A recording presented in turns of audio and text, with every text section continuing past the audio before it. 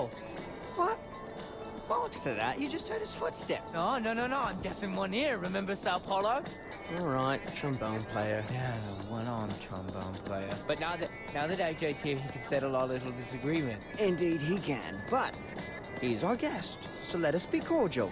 Ah, this one's a lovely jubbly. Mm-hmm. We call it Oculus Spliff. Oculus. Spliff. That you see through the walls of perception. But you'll need a topper with that one, mate.